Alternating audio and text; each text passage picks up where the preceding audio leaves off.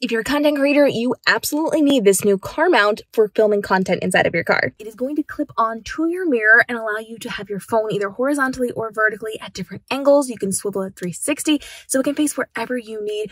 This is a total game changer. Now, I will say that it does not fit on certain mirrors. On the normal mirrors, it will fit just fine. On the mirror in my car, it does not fit so great because I have a big bulky mirror with lots of fancy things on it. So you want to make sure that you are taking that into consideration before before you jump into this, but it's a total game changer. Let's take a look at how this works. So this is the device. It clips right onto your mirror, which is fantastic. And then you can have your phone at whatever angle you need it to be at. You can lower and raise it. I do have a short distance between the top of my mirror and the dashboard, so I don't actually have to lower it, but if you've got a bigger vehicle, you absolutely can. I've attached my light to my visor because I'm sitting, I'm not driving. I can attach it to the bottom of my phone without having an issue, but it does give those harsh upward angle shadows, which we don't necessarily want. I did try to clip it to the top of it, and it weighed it down and tipped it too much. So you may want a secondary way of attaching a light if you're going to, but for the most part, you're actually not going to need a, a light for this. I just happen to be very early morning and, and I kind of wanted to add that just to kind of show you what you could potentially be doing. This does clip in and out very easily. All you have to do is pinch the sides and it is going to take care of that for you. So all you do is pinch right here and here it's going to release these levers and allow you to remove your phone. I only have one hand to do this with, so we are kind of working with what we've got. But you see how you can pinch this and lower and raise this as well. You do have the ability to change right here by swiveling this, the length or the size of where you're going to be swinging this around to, so you can move it at different angles. And then to add it up here, all you have to do is pinch these buttons right here, and it lowers and raises these right here so that you can attach it to your phone.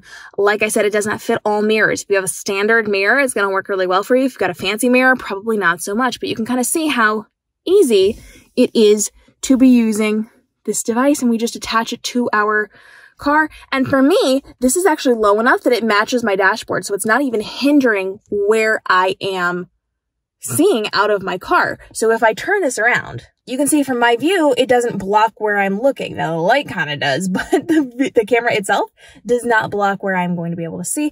And if it does, I can actually lower this so that it is sitting right here in my dashboard so that I don't actually have an issue with this. This is a total game changer for your content creation because you can film yourself without having to actually film yourself. You can just start it and you can drive, you can go on the road, you can do things, you can have conversations with it. If you are going to be having like a vlog where you're traveling, you of course need to be making sure that you're paying paying attention to the road. That is your priority. There will be some places where you're not allowed to do this. I do not recommend it, but if you are maybe in the passenger seat and you're going to film a vlog this way, I would attach a microphone because the car itself is going to be really loud and it's going to distort your noise a lot. So you want to make sure you've got a microphone. I do recommend the Movo mic. We'll link that down below for you.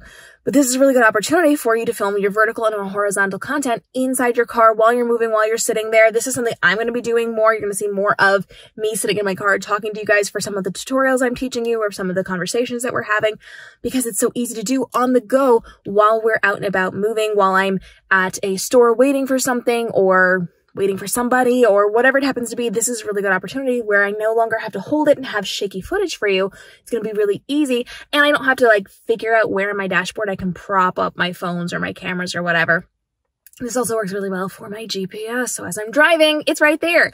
If you noticed in the footage before, I have another thing that's kind of looped over my steering wheel and attached to my vents over to the side. That's where we've been using the GPS and the phone and all of those things this is going to be a much better solution and very easy and simple to use. And it's not something that's going to like pop out. It's, it's not something that is wedged in and then could potentially pop out at you. It is something that's going to be very easy for you to just add in, pinch it, and then it holds it very well. It's very sturdy, very stable. And again, you can change if it's facing the driver's side, if it's facing the passenger side, the back seat, horizontal, vertical. You can tip it at different angles. So if you're taller or you're shorter or you're going to be showing things off, you can change the angle for whatever it is that you need very, very easily. And because it has those little tightening things, is very, very good at staying secure. So unlike some of the other phone holders, it's not going to slowly tip on you or accidentally drop out your phone. This is very sturdy, very well made.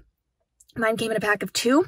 Highly recommend. We'll link those down below for you. And if you want more technology that can help you to make your content creation life easier, follow along. We've got a whole playlist on tech and tools that you can be using to save time and effort creating your social content. And every single day, we are dropping brand new videos to help you navigate the world of social media marketing so that you can make the most of your time online, but spend less time doing it to be more profitable while still living your best life and running your business. We'll see in the upcoming episodes. And if you've got a piece of tech you want me to try out for you, go ahead and let me know. We're going to break it all down for you, show you exactly how you can be using these things.